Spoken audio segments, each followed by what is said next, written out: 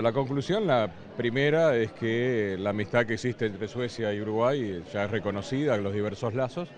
pero también el, gran interés en profundizarlos. Nosotros en este momento eh, han crecido las inversiones, el comercio entre ambos países en el 2011 está multiplicándose con respecto al 2010, pero aún tenemos un comercio que puede ser muy mejorado. Desde el parte de Uruguay eh, exportamos, le exportamos a Suecia carne, le exportamos también madera, eh, lo que pensamos que hay que diversificarlo con más productos tecnológicos, a su vez como es conocido, bueno, Suecia exporta eh, aparatos de maquinarias, telecomunicaciones, pero en ese balance lo que estuvimos conversando fue una visión más completa también del conjunto de otras posibilidades y otras inversiones. En el campo de la energía, en el campo de la industria, en el campo en definitiva de un comercio que, eh, como decía, tiene posibilidades muchas más vastas. Y también se habló, lógicamente, de temas de Mercosur, del tema de, Unión Europea, en la vista de que eh, los acuerdos que se puedan llegar a un momento tan especial que están pasando los países diferentes en el mundo debido a esta crisis general,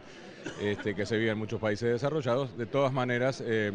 la intención es lograr avanzar de nuestra parte y de parte de Suecia en los acuerdos generales lo más posible en la parte que le corresponde, porque trabajan en ámbitos obviamente diferentes y diferentes aspectos. Fíjense que recientemente hubo inversiones, por ejemplo, en la empresa que estaba, de SKF, o bueno, las inversiones que se están realizando eh, por Montes del Plata y en el área energética, y también hubo comentarios de intenciones de, invertir más. Entonces, este, en ese sentido hubo una visión muy positiva de Uruguay dentro de la región, que crece de Uruguay como seguridad jurídica, como ya sabemos, como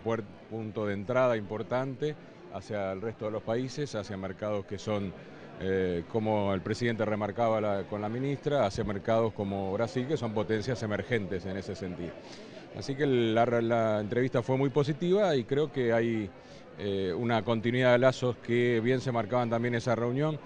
que se generan muy fuertemente a partir de la dictadura y de todo el exilio y que luego eh, se torna a parte de esta diáspora que bueno que hoy vivimos esta reunión tan, tan emotiva, por otro lado se torna también en aspectos comerciales e inversiones porque